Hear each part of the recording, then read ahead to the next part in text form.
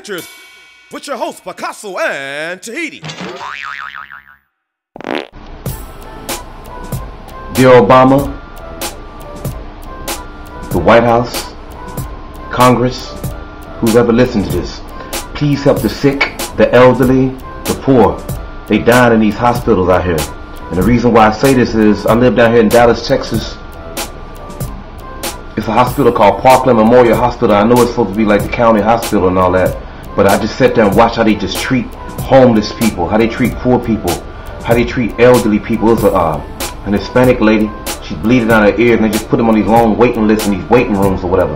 And I, you know, a lot of people don't have insurance. A lot of people don't have the, uh, are not as blessed.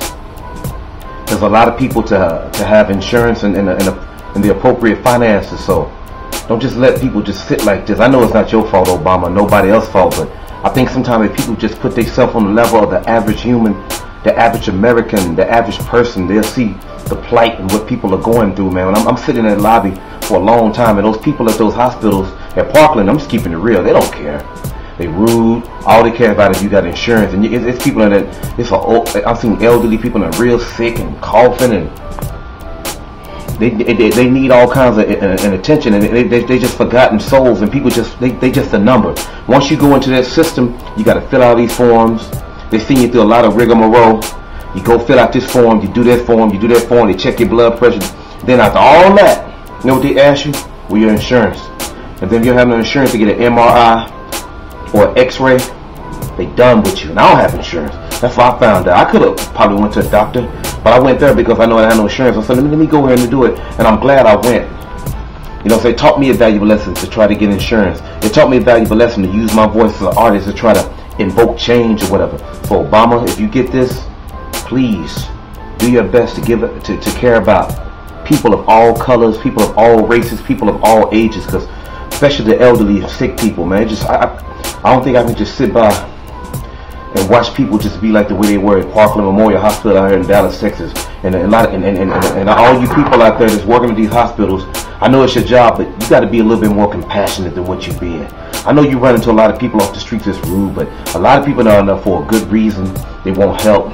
They want to get themselves feeling better. So don't just put people on long waiting lists and they understaffed. You need to need to have government government programs where you can get more doctors and more nurses. They understand it's like two doctors with all those people.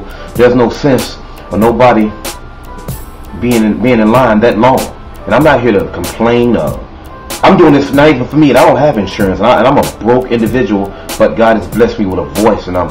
And sometimes people they treat you wrong, but they never know who they treating wrong, who's sitting in, a, in amongst the others. And, and I, am a humble cat, and I've seen that like, man, this guy here, this oh, this lady, she's like bleeding out her ear. This guy coughing, this talking to himself. These people are sick mentally, physically, and all that. And to me, I just don't think people care. So Obama, do your best to try to help do change or whatever, to bring change.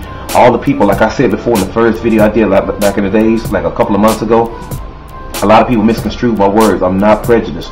I was just saying, let's cut the prejudice out. You know, a lot of people call me out of my name. I'm not going to use no profanity on this one because it's not that kind of thing. But I'm here to try to unite and do my best. And I'm not perfect. I've did a lot of messed up things in life. But I'm, I'm a good dude, straight up. So, like Obama, let's help the elderly, the sick, the poor, and the forgotten souls in life. Let's get some health insurance to these people. And that's United States is supposed to be the land of opportunity. People shouldn't should, people shouldn't be hearing to the kids and stuff sick and about to die sitting in these waiting rooms across Dallas to New York to Philly to LA to Atlanta to wherever in the world. It's people feeling the same plight. So if you feel me, leave a comment. You know what I'm talking about? And I'm all about peace and harmony. Stay strong and have a nice day. Pikahsso Allen Poe and I'm out. Peace.